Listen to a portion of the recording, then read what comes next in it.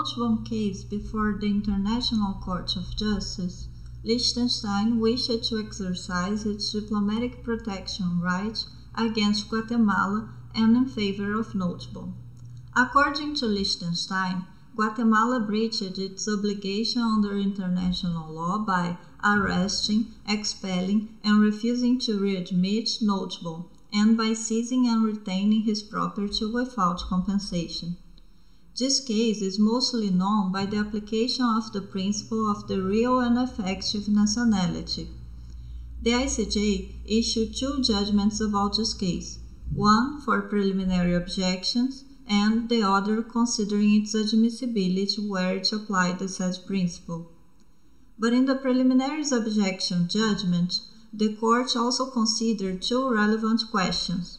First, the scope of the competence competence principle, and second, when the expiry of a declaration can deprive the court of its compulsory jurisdiction.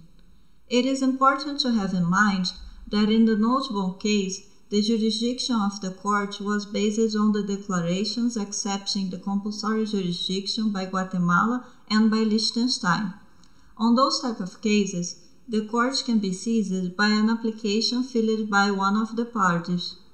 On this basis, on December 17, 1951, Liechtenstein filed an application instituting proceedings against Guatemala. However, according to Guatemala, its declaration had ceased to be in force. Therefore, the court had no jurisdiction to deal with this case. Guatemala's first preliminary objection was that the court can only see only settle disputes concerning jurisdiction in respect of Article 36, paragraph 2 of its statute. As the expiry of the declaration accepting the compulsory jurisdiction is not in that provision, the court cannot decide about its own jurisdiction. However, the court concluded that since the Alabama case, general international law recognizes the principle that an international tribunal has the right to decide as to its own jurisdiction and has the power to interpret for, the, for this intention the instruments which govern that jurisdiction. The ICJ noted that this principle was expressly recognized on both Hague Conventions of 1899 and 1907, and the judicial character of the ICJ could, could only have the effect of strengthening this principle. Consequently, by this principle of general international law and by Article 36, paragraph 6, the court is competent to adjudicate on its own jurisdiction. By the time the application was filed in the registry of the court on December 17, 1951, both the declarations were still in force. But Guatemala's second preliminary objection was that after January 26, 1952, its declaration had ceased to be in force. This was the first time that a government alleged that the expiry of a declaration involved the, the removal from the court's list of all its cases, including those that were filed before the expiry of that period. When we are talking about the compulsory jurisdiction, the rules about the seizing of the court will emanate from the declarations.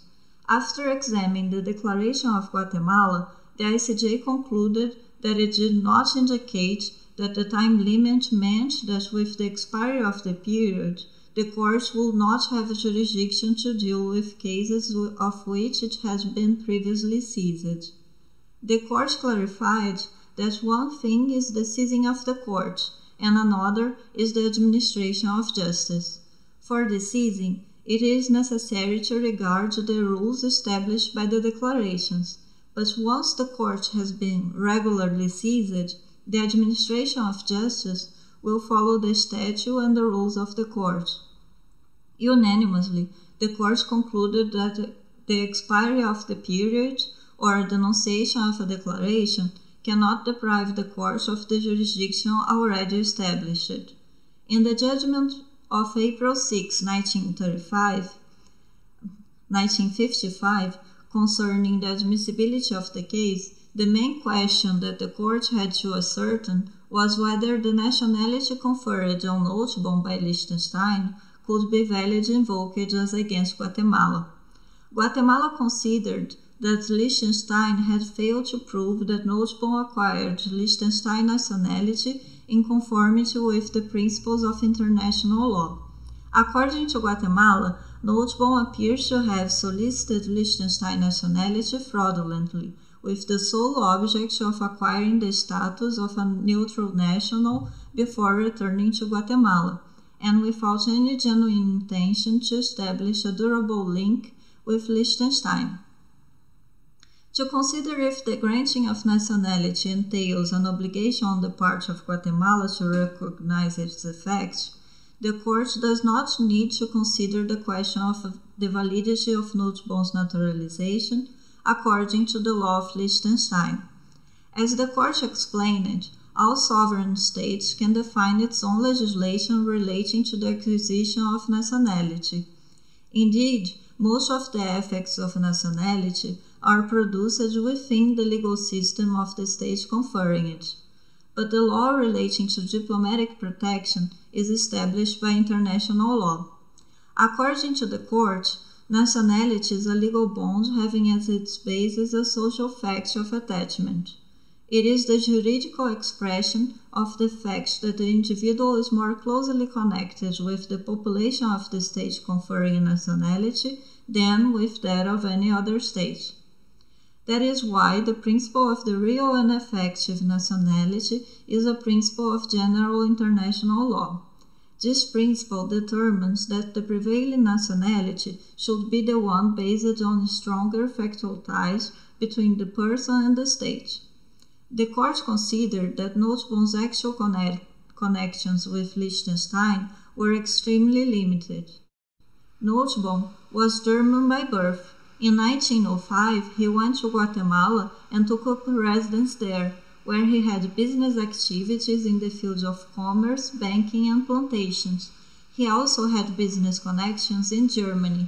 On October 9, 1939, a little more than a month after the opening of the Second World War, Nottebohm went to Liechtenstein residing there as a visitor with his brother, and, sub- and submitted a rushed application for naturalization. On October 20, 1939, Nottebohm took the oath of allegiance and received a certificate of nationality. However, Nottebohm continued to have a fixed residence in Guatemala until 1943. On December 1, 1939, Nottebohm had his Liechtenstein passport visited by the consul of Guatemala in Zurich and returned to Guatemala at the beginning of 1940, where he resumed his business activities. So he went to Liechtenstein to apply for naturalization during a short visit to his brother, and as soon as he got it, he went back to Guatemala. Indeed, other members of his family have asserted Nottebohm's desire to spend his old age in Guatemala. Therefore, the court, by 11 votes to 3, decided that the claim was inadmissible, as Guatemala is under no obligation to recognize a nationality granted in such circumstances. The judge, uh, this judgment considered the case as a multiple nationality situation, and for that, it is often criticized. Nowadays, the commentaries to the draft articles on diplomatic protection determines that a state does not need to prove an effective or genuine link between itself and its national for the exercise of diplomatic protection. According to the Commission, the ICJ did not want to establish a general rule, but an exception. In conclusion, Nottebohm, the Nottebohm issue should be considered as a very peculiar case and a product of its time. Because while Guatemala had a strong link with Nottebohm, Liechtenstein had almost no connection with him. Also, nowadays, migration is much more common than it used to be, and many, individual, and many individuals do not have the nationality of the country where they have an effective link.